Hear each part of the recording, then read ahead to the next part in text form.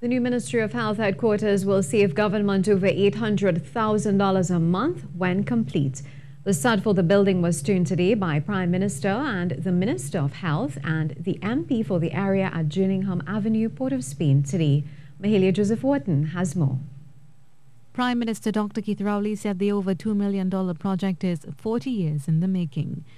The Ministry of Health has been renting a building on 63 Park Street as the corner of Park and Edward Street since May 2004.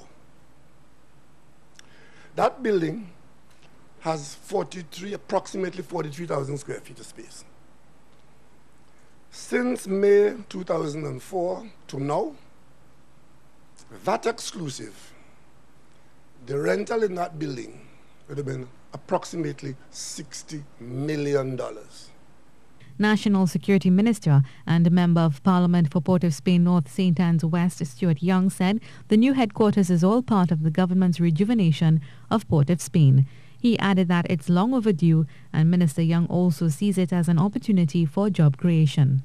And all I ask as the MP is please remember the constituents when you all are doing the recruitment for, for the jobs. There is a lot of talent in Port of Spain, North St. Ann's West and I'm sure they will come forward. The legal talent, that is, and work on the construction site. And I wish you all well. Health Minister Terrence Deyalsingh said the eight-story building is expected to be completed in two years by NH International. He said the construction will be done under a lease-to-own arrangement over a 15-year period.